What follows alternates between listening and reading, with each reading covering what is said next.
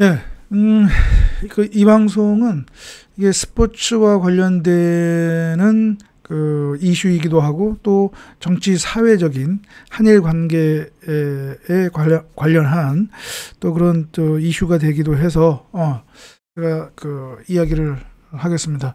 이 바로 이제 그 사진에 나와 있는 것처럼 그 1936년 베를린 하계 올림픽 그 마라톤에서 어, 우리 송기정 그다음에 남승용 선수가 각각 1, 3위 금메달, 동메달을 땄죠. 그래서 지금 이 사진이 바로 이제 그 사진. 지금 가운데 있는 분이 바로 그 가슴에 예, 일장기가 새겨진 그 유니폼을 입고 있는 분이 바로 이제 송기정 돌아가셨죠.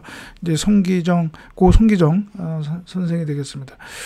어 근데 제가 지금 이 방송을 하는 이유는 최근에 이게 좀 이제 정치적으로 이제 논란이 되는 곳이 있어서 이게 뭐냐면은 바로 이제 그 김문수 고용노동부 장관 임명이 됐으니까 지금은 이제 그 장관이죠. 그런데 어 그 인사청문회 때 국회에서 어 인사 인사청문회 할 때 조금 논란이 되는 발언을 발언을 했습니다. 이게 뭐냐면은 지금 화면에 나와 있는 것처럼 어, 일제 강점기 때 일제 강점기 때 에, 우리 선조들 선조들 선조들 국적은 일본이다라고 하는 거, 요 발언으로 조금 논란이 있었습니다. 조금이 아니죠. 여기 제목에 나와 있는 것처럼 청문회가 그 13시간 동안 파행이 된 것처럼 이게 많은 논란이 있었습니다. 저는 김문수 당시 후보자가 뭐 이래서 뭐 그 아주 그냥 극단적인 친일 그런 사상의 발로로 그렇게 얘기한 건 아니고 아마도 제가 그, 그 본인이 생각하기에는 당연히 그 한일 합병 조약으로 나라를 잃었는데 주권을 잃고 모든 통치권을 아 일본 제국에 빼앗겼기 때문에 당연히 이제 나라라는 나라라는 건 없다.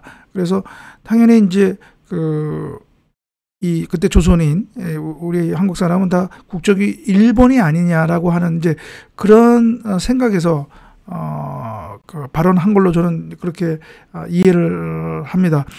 근데 이제 이거 관련해서 어, 어떻게 보면 어, 좀 정치 사회적으로 이게 조금 이따 얘기하겠지만 이게 한일 합병 조약의 그 원천 무효, 당연 무효 에 대한 어떻게 보면 입장의 차이 이거와도 또 관련된 것으로 결부해서 보는 그런 시각도 있어서 이것이 참 그냥 해프닝으로 보기에는 조금 음뭐 그렇게 쉽게 볼 문제는 아닌가 아니 아니지 않나 이제 생각이 들고요.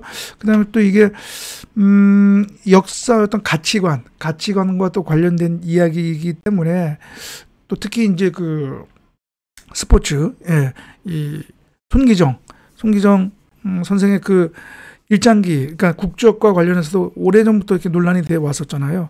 또 그거와 결부된 문제이기 때문에 제가 이 이야기를 하려고 하는 것입니다. 그래서 결국은 어, 한번 여러분들에게 한번 제가 판단을 맡기려고 하는데 그 판단에 판단에 어, 도움을 줄 수 있는 중요한 두 가지 점에 대해서 제가 좀그 이야기를 하려고 어, 하는 것입니다. 그래서 한번 여러분 제가 이야기하는 거 꼭 한번 보시고 여러분 한번 그 생각을 그 해보시기 바랍니다. 제가 첫 번째 어, 얘기하고자 하는 것은 어, 이건 어떻게 보면 fact check이기도 합니다. Fact check. 예.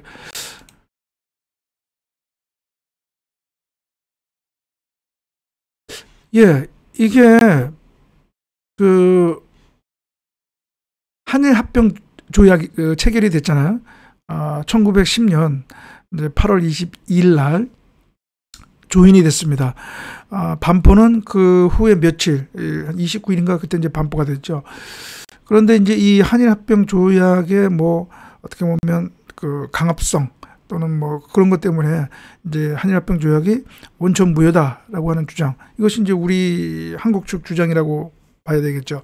우리 한국 정부의 아, 과거에서부터 지금까지 쭉 일관된 입장입니다.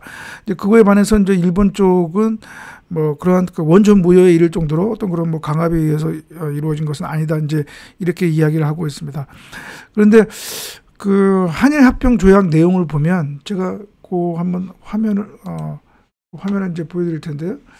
그 한일 합병 조약 내용을 보면 거기에 그 조선인이 있죠. 그러니까 이제 그 우리 한국인은 자동적으로 어 일본인이 뭐 일본인이 된다라고 하는 그런 조약은 없습니다. 지금 여러분 화면에 그 한일 어 병합에 관한 조약, 그러니까 한일 합병 조약 그 이제 본문 내용을 보면 보면 보고 계신데 상당히 참 그 많지는 않죠 내용이 예, 내용이 많지 않습니다. 근데 여기에 보면 그 기본적으로 뭐 이런 병합 조약 체결에 따라서 그, 그 내지인 그러니까 이제 그 일본인이죠. 예, 일본인. 일본인과 아그 같이 그 일본 국적을 취득한다. 뭐 그런 조약은 없고요. 이 조약에. 그다음에 또 그 내지인 일본인과 이 조선인은 뭐 동등한 뭐 사회 경제 문화 모든 영역에서 영역에 있어서 동등한 그런 대우를 받는다. 이제 그런 조약도 그 내용도 없습니다. 그러니까 결국은 이것은 어떻게 보면 아 한일합병 조약은 어떻게 보면 식민지 식민지 조약이라고도 볼 수도 있습니다. 그러니까 그런 어떤 동등한 그러니까 양쪽에 그러니까 조선인도 일본 국민처럼 그런 동등한 대우를 받는 것이 아니라 식민지죠, 식민지. 그러니까 조선은 식민지고 어 우리 조선인은 식민이죠, 식민지의 그런 그 사람들인 것 뿐이죠. 어, 이 한일 합병 조약도 마찬 이렇게 내용도 이렇게 되어 있고요. 그다음에 또 그 우리 조선인이 일본인 국적을 취득을 하려면 이 우리 조선에 일본의 국적법이 시행되었다는 법적 근거가 있어야 되거든요. 실정법적 근거. 그런데 그런데 그런 실정법적 근거도 없습니다. 아, 왜냐하면 국적 취득에 관해서는 아, 과 관련해서 국적법이 어, 조, 적용이 돼야 되거든요. 이 조선에서도. 근데 우리 조선인도 국적법 그 아, 적용을 받아야 됩니다. 그래서 그 국적법에 따라서 만약에 뭐 일본 국적을 취득한다 그런 내용이 있어야 되는데 아예 국적 일본 당시 일본 국적법이 조선에서는 시행이 시행이 되지 않았다라고 하는 것입니다. 이거는 뭐 제가 그냥 개인적으로 제가 하는 것이 아니고요. 이 문헌에 나와 있습니다. 지금 여러분 화면에 서울대 서울대학교 학술 비, 비평 그 학술지 일본 비평이라고 하는 학술지가 있는데요. 거기에 엔도 마사타카라고 하는 일본인 역사학자가 쓴 논문이 있습니다. 호적을 통해서 본 국적 일본인이란 무엇인가 여기에 그 내용이 나와 있습니다. 제가 조금 전에 얘기했던 아, 조선 한국에서는 일본 국적법이 시행이, 시행이 되지 않았다라고 하는 이제 그 내용이 있습니다. 여기에 64쪽인가 거기에 보시면 그 내용이 있습니다. 아, 이게 조금 좀 저게 걸리네요. 예. 네. 아, 있구나. 64쪽에 보면 그 내용이 있습니다. 당시에 대만도 그렇고 사할린도 그렇고 어, 일본 제국의 식민지였거든요. 식민지였는데 대만과 사할린에는 일본 국적법이 시행이 됐, 었습니다 예, 그런데 아, 여기 나오죠? 예, 여기 나왔습니다. 아, 여기 나왔습니다. 예. 예, 노란 표시. 자, 국적법은 대만에서는 1899년 6월, 사할린에서는 1924년 4월에 시행되었지만 조선만 시행되지 않았다라고 하는 것입니다.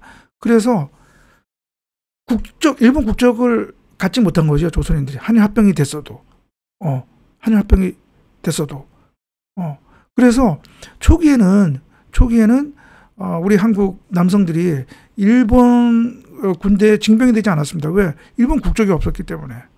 예. 그러다가 나중에 이제 40년대 그, 그때 제2차 세계대전 후반부에 일본 제국이 병력이 모자라니까 한국 어, 젊은이들, 사람, 그 남자들을 이제 강제 징용을 했던 것이죠. 이제 징병을 했던 것이죠. 어, 그렇습니다. 이건 뭐 제 얘기가 아니라, 음, 그, 저기, 이 역사학자 가 근거에 의해서, 어, 그 얘기를 하는 거니까, 어, 믿으셔도 될 것 같습니다. 그래서, 그래서 이제, 우리 조선 국적법을 취득하지 않았다는 얘기죠. 그러니까 일본 국적을 갖고 있지 않았습니다. 아, 일본 국적을 갖고 있지 않았던 것이죠. 단지 식민지 이 시민에 불과했던 것이죠. 그래서 음, 일각에서는 일각에서는 뭐 한일 합병이 됐으니까 일본 국적을 취득했다 이렇게 얘기하는데 그것은 어, 명백히 이 실정법적 측면에서는 맞지 않는다. 아, 이렇게 볼 수 있고요.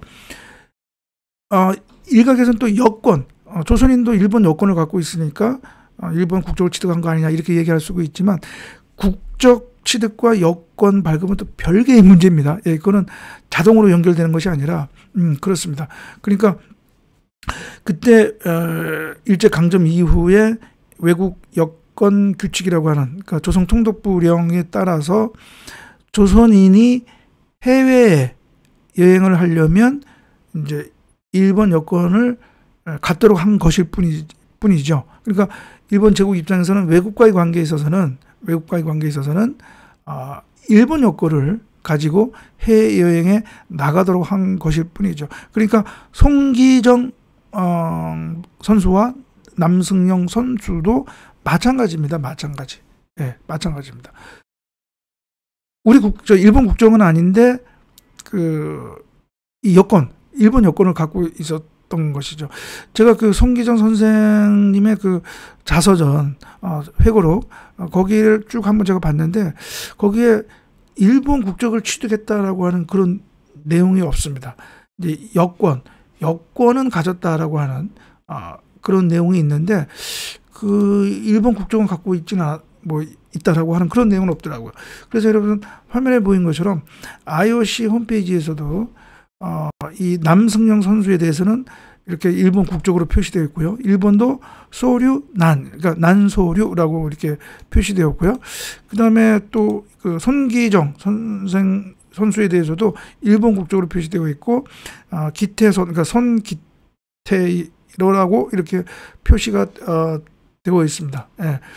그래서 어 그렇고요. 그래서 이제 어, 명확한 거는 어 우리 한국에서는 그 당시 일본 국적법이 시행되지 않았고 한일 합병이 됐다고 해서 자동적으로 조선인이 일본 국적을 취득한 것은 아니다라고 하는 것입니다.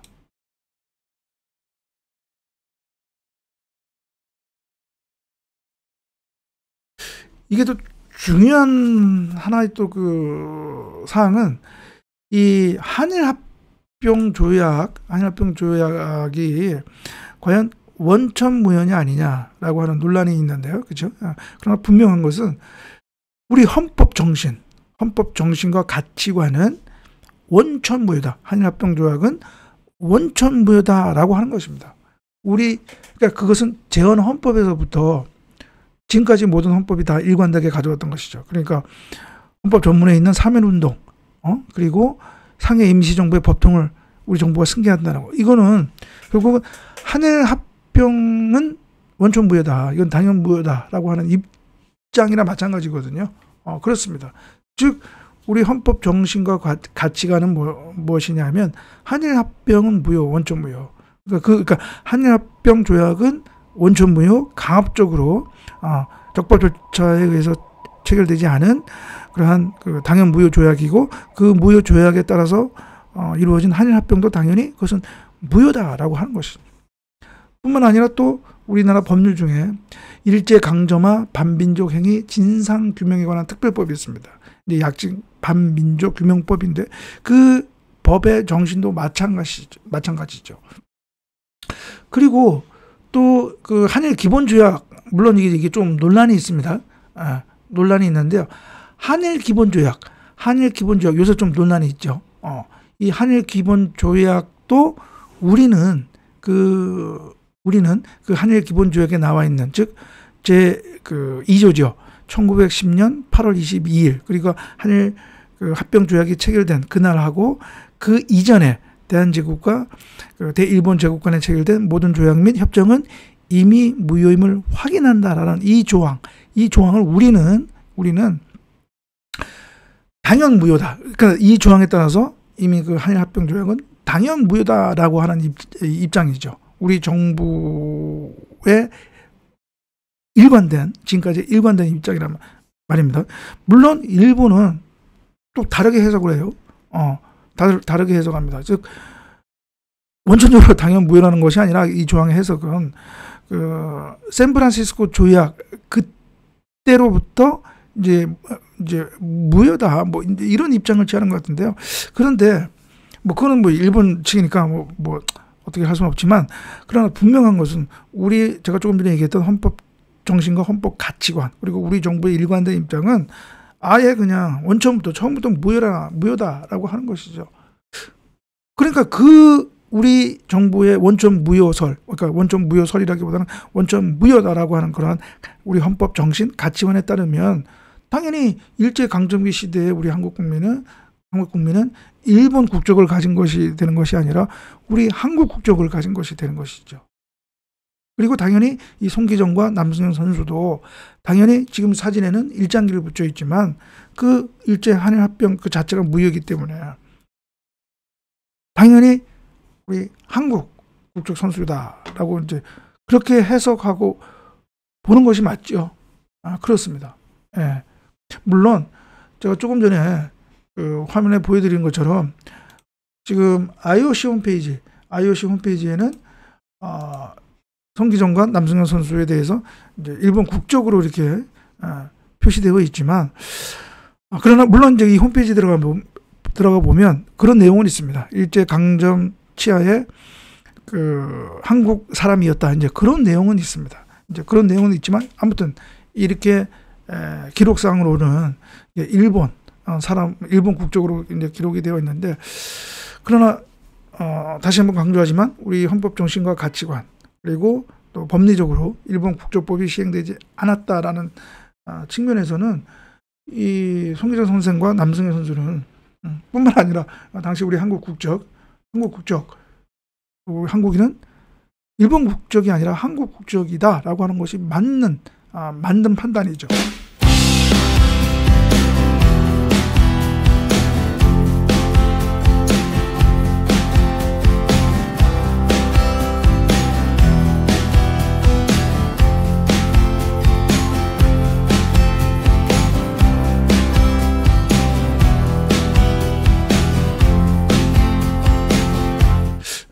그래서 뭐 제가 또 말미에 제 어, 개인적인 또 견해도 피력을 했는데 한번 뭐 그거 상관없이 한번 여러분 제가 어, 두 가지 얘기했던 거 예. 아, 일제 강점 시대에 일본 국적법이 우리 한국 이 조선에 시행이 되지 않았다. 그래서 뭐 한일 합병이 돼서 자동적으로 어, 그 조선인들이 일본 국적을 어, 일본 국적이 조선인들에게 주어지지 않았다라고 하는 그런 팩트하고 그다음에 우리 헌법 정신과 가치관은 아, 한일 합병을 원천적으로 무효로 보는 것이다라고 어, 제가 얘기를 한 거. 요두 가지를 한번 바탕을 해서 한번 여러분들 어, 생각을 어, 해보시기 바랍니다. 예, 그러면 오늘 방송 이것을 마치고요. 다음 방송에서 뵙도록 하겠습니다. 감사합니다.